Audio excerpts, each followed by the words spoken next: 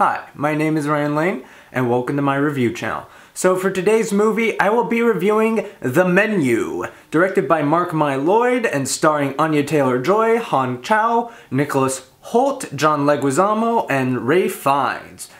Anyway, this film tells the story of Margot and of Margot, played by Anya Taylor-Joy. She is attending a fancy dinner with her companion Tyler, played by Nicholas Hoult.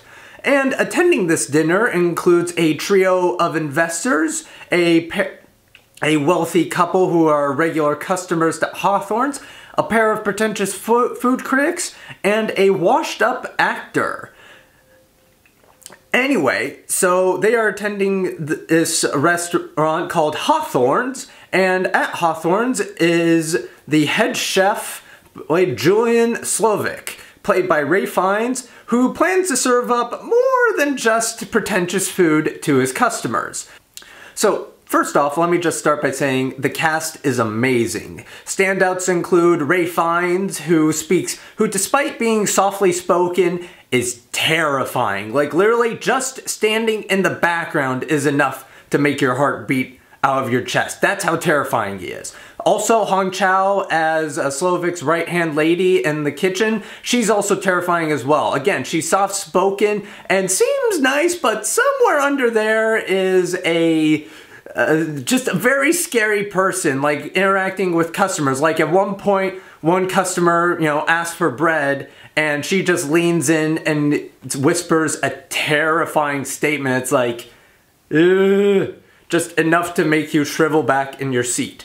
Also, Nicholas Hoult as the pretentious foodie Tyler, he is great as well. He clearly loves food, yet he is clearly uh, an apathetic person to the uh, well-being of other people. It makes it's really good just cutting to his reactions as the night becomes more twisted and terrifying. Really good there. Also, Anya Taylor-Joy as Margot. The as it's great. She is a great uh, character who is well, Anya Taylor-Joy does a great job trying to outsmart the head chef and escape from the culinary hell from whence she has been cast into. Really great there.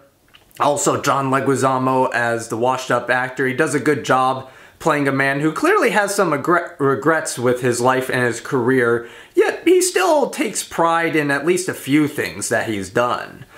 Also, the cinematography. The cinematography does a great job of capturing the food and it makes for some really good food porn, what can I say? And it also does a great job of showing the, how dire the predicament is for the customers as the film uses a lot of overhead shots to make all the customers seem tiny and vulnerable. Really great stuff.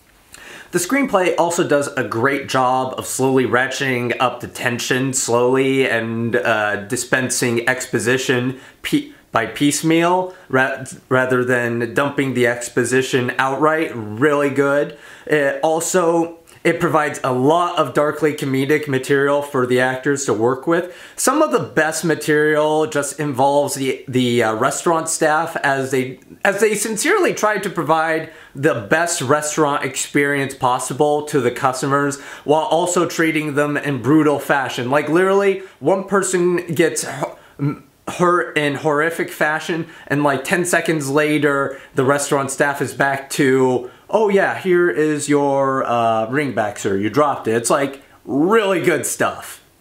I really enjoyed that as well. Plus, the screenplay manages to provide uh, good commentary about uh, critique in general for food and also what I'm guessing is a metaphor film as well. In fact, any art in general for critique of, of well, critique in general. It's really good. Plus, the screenplay also manages to avoid turning uh, Ralph Fiennes' character into an anti-hero. Like, in this film, he is an outright villain, and I enjoy that the film embraces that, because the film goes, bends over backwards to show that while uh, the head chef does have some good points, he's also kind of off his rocker. Like, at one point, he literally uh, compares his struggles to that of African Americans by quoting uh, Martin Luther King Jr. It's like, um, yeah. Mm. again, like I said, that's part of the comedically dark material. So, with all that in mind, thanks to impeccable casting and whip smart writing, I uh, the the menu will serve up all audiences all they hunger for and then some. So with that in mind, I will be giving the menu four and a half out of five stars. Anyway, thank you for watching. Have a good rest of your day. If you like this review and would like to see more like it, be sure to like and subscribe and leave a comment down below. And for today's comment section prompt of the day, did you like the menu? Why or why not?